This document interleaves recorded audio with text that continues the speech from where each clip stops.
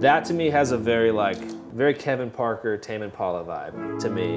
Like I hear. it.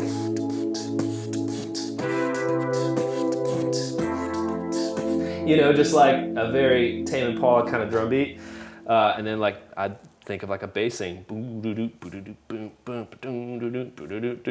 and it's just for playing a few chords. Like I'm not playing any rhythm, but those chords, maybe even you know implementing effects, it's going to inspire something in your head, and you know you'll piggyback off that. Right. Whether it's drums or bass or something. Very you know? Um, and I kind of want to write that now. I'm like, Yeah. I actually feel like that's a song. If I now.